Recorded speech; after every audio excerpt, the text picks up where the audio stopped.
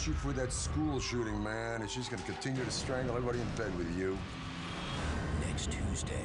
Using false medical records is a felony. I can have security here in an instant. There won't be enough security to keep you safe. She ain't gonna stop until she draws blood.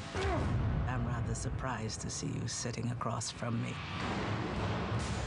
No more surprised than I am. Sons of Anarchy. All new next Tuesday at 10, only on FX.